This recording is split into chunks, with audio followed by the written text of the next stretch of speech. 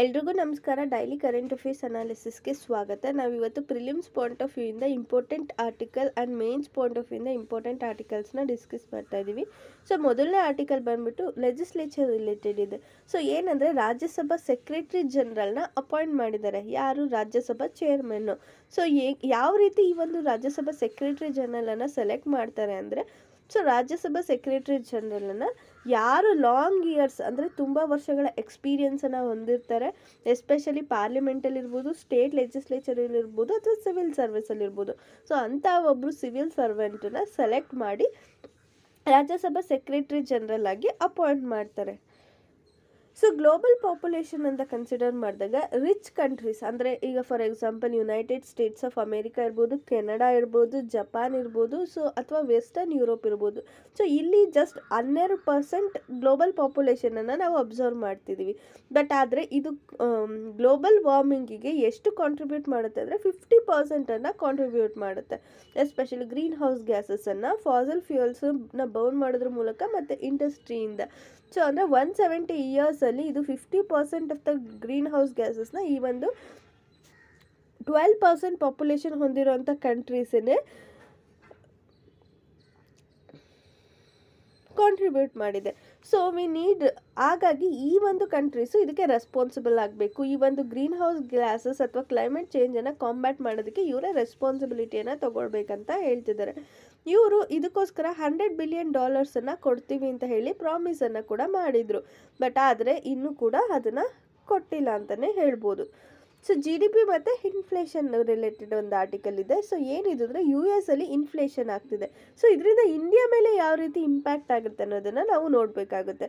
So U S ಅಲ್ಲಿ inflation ಎಷ್ಟಿದೆ ಅಂದರೆ ಸಿಕ್ಸ್ ಪಾಯಿಂಟ್ ಟೂ ಪರ್ಸೆಂಟ್ ಇದೆ. ಇದು ತರ್ಟಿ ಇಯರ್ಸಲ್ಲೇ ತುಂಬ ದೊಡ್ಡ ಹೈಯೆಸ್ಟ್ ಅಂತಲೇ ಹೇಳ್ಬೋದು.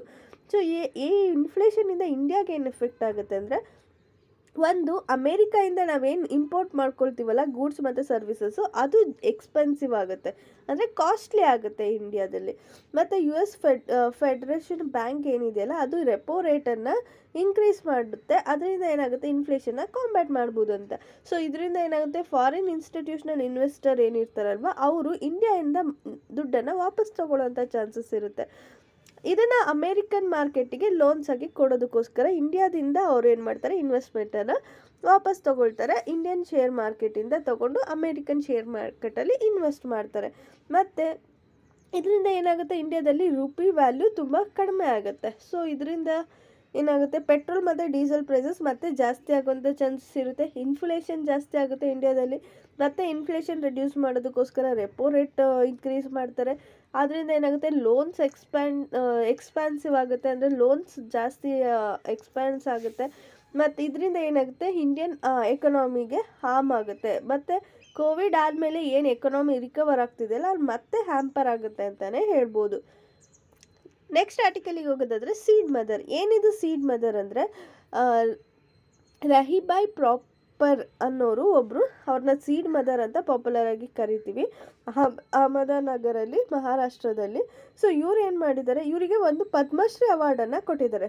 ಏನಕ್ಕೋಸ್ಕರ ಅಂದರೆ ಹಂಡ್ರೆಡ್ಸ್ ಆಫ್ ಲ್ಯಾಂಡ್ ರೇಸಸನ್ನು ಪ್ರೊಟೆಕ್ಟ್ ಮಾಡಿದ್ರು. ಅಂದರೆ wild variety of commonly grown ಕ್ರಾಪ್ಸನ್ನು ಇವರು ಪ್ರೊಟೆಕ್ಟ್ ಮಾಡಿದ್ದಾರೆ ವಿಲೇಜ್ ಲೆವೆಲಲ್ಲಿ ಸೊ ಹಾಗಾಗಿ ಇವರಿಗೆ ಪದ್ಮಶ್ರೀ ಅವಾರ್ಡನ್ನು ಕೊಡಲಾಗ್ತಿದೆ. ಏನಿದು ಲ್ಯಾಂಡ್ ರೇಸಸ್ ಅಂದರೆ ಇದೊಂದು naturally occurring variety of commonly cultivated crops ಈಗ ನಾವು ಕಾಮನ್ ಆಗಿ ರೈಸು ಮತ್ತು ವೀಟು ಕಾಟನ್ ಇದೆಲ್ಲ ಕಲ್ಟಿವೇಟ್ ಮಾಡ್ತೀವಿ ಅಲ್ವಾ? ಸೊ ಅದೆಲ್ಲ ನಾವು ಮಾಡಿಫೈ ಮಾಡಿಕೊಂಡು ಕಲ್ಟಿವೇಟ್ ಮಾಡ್ತಿದ್ವಿ. ಬಟ್ ವೈಲ್ಡ್ ವೆರೈಟಿನಲ್ಲಿ ಮೊದಲು ಹ್ಯಾನ್ಷನ್ ಟೈಮಲ್ಲಿ ಅದಾಗದೇ ಬೆಳಿಬೇಕಾದ್ರೆ ಯಾವ ರೀತಿ ವೆರೈಟಿ ಇತ್ತು, ಆ ರೀತಿಯಾದಂಥ ವೆರೈಟಿಯನ್ನು ಇವರು ಇಲ್ಲಿ ಪ್ರೊಟೆಕ್ಟ್ ಮಾಡಿದ್ದಾರೆ. ಸೊ ಹಾಗಾಗಿ ಇವರಿಗೆ ಪದ್ಮಶ್ರೀ ಅವಾರ್ಡನ್ನು ಕೊಟ್ಟಿದ್ದಾರೆ. ಹೈಬ್ರಿಡ್ ಕ್ರಾಪ್ಸನ್ನ ಸೈಂಟಿಸ್ಟ್ ಏನು ಮಾಡ್ತಾರೆ? ಆರ್ಟಿಫಿಷಿಯಲಿ ಕ್ರಿಯೇಟ್ ಮಾಡಿರ್ತಾರೆ. ಅದಕ್ಕೆ ಏನೇನೋ ಎಕ್ಸ್ಟ್ರಾಸ್ ಎಲ್ಲ ಆ್ಯಡ್ ಮಾಡಿ. ಸೊ ನ್ಯಾ ಅದೇ ಲ್ಯಾಂಡ್ ರೇಸಸ್ ಅಂತ ಅಂದರೆ ಇದು ನ್ಯಾಚುರಲ್ಲಾಗಿ ಕ್ಲೈಮೇಟ್ ರೆಸಿಲೆಂಟ್ ರೈಟ್ಸ್ ಅಡಾಪ್ಟ್ ಮಾಡಿಕೊಂಡು ಸರ್ವೈವ್ ಆಗಿ ಬೆಳೆದಿರುವಂಥ ಒಂದು ಕ್ರಾಪ್ಸ್ ಆಗಿರುತ್ತೆ.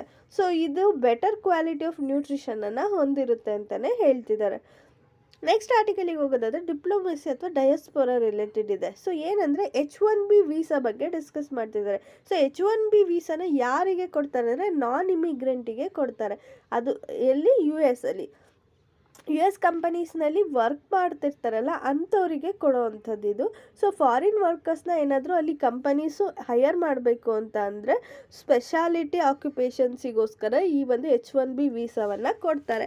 ಸೊ ಇದಕ್ಕೆ ಥಿಯರಿಟಿಕಲ್ ಅಥವಾ ಟೆಕ್ನಿಕಲ್ ಎಕ್ಸ್ಪರ್ಟೈಸು ಇರಬೇಕಾಗುತ್ತೆ. ಆವಾಗ ಮಾತ್ರ ಅವರಿಗೆ ಈ ಒಂದು ವೀಸಾ ಸಿಗುತ್ತೆ. ಸೊ ಟೆಕ್ನಾಲಜಿ ಕಂಪನೀಸ್ ಏನಿರುತ್ತಾರ ಇವ್ರು ಟೆನ್ಸ್ ಆಫ್ ಥೌಸಂಡ್ಸನ್ನು ಚೀನಾ ಮತ್ತು ಇಂಡಿಯಾಯಿಂದ ಹೈಯರ್ ಮಾಡ್ತಿದ್ದಾರೆ. ಸೊ ಅವರ ಒಂದು ವೈಫ್ ಇಮಿಡಿಯೇಟ್ ಫ್ಯಾಮಿಲಿ ಮೆಂಬರ್ಸ್ ಇರ್ತಾರಲ್ಲ, ಅವ್ರಿಗೆ ಎಚ್ ಫೋರ್ ವೀಸಾವನ್ನು ಕೊಡ್ತಿದ್ದಾರೆ. ಅಂದರೆ ಅವರ ಸ್ಪಾಸ್ ಮತ್ತು childrens under twenty one years of age so ಇವರಿಗೆ H one H one B visa ಅವಶ್ಯಕತೆ ಇರಲ್ಲ. So H one B visa ಯಾರಿಗೆ ಟೆಕ್ನಿಕಲ್ ಎಕ್ಸ್ಪರ್ಟೈಸ್ ಇರುತ್ತೆ ಅವ್ರಿಗೆ ಕೊಡ್ತಾರೆ.